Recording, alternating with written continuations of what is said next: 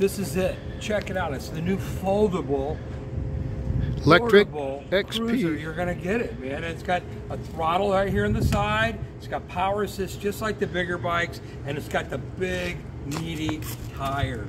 Look Yes, tires. indeed it does. That is fat, man. Talk about getting some push and grade, and you can actually fold this in half. Folds right in half with that latch you see right here. Drop that baby right in half. You can put two in the back of your Prius or your small car and rock and roll. You got a basket for Toto for the front, Toto basket.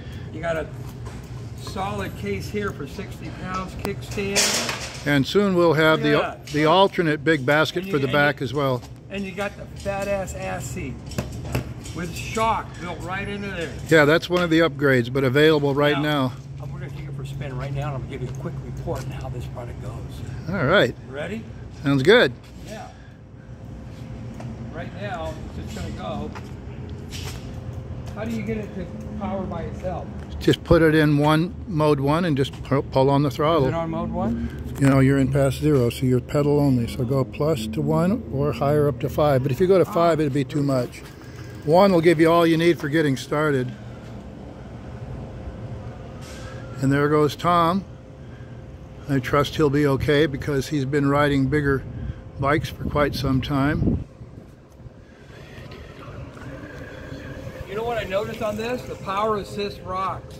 Because as you pedal, it goes. You got front end shocks. You got a throttle for speed here. But as say you, you want to hit your brake, it bypasses the juice going to the switch here or going to the pedal. So sometimes when you give it a push and you want to go and it takes off with a certain surge, this prevents it when your finger's on one of the brakes. Yeah, I thought it was pretty.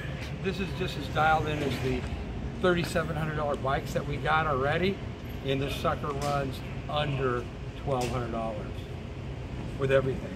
Well, thank you very much, Tom.